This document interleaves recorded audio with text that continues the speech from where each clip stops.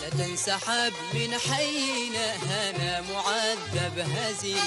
لا تم لي عيش هاني من بعد فرقة زميل. إن كان لي الهجر عذرا مقبولها أنا مطيع.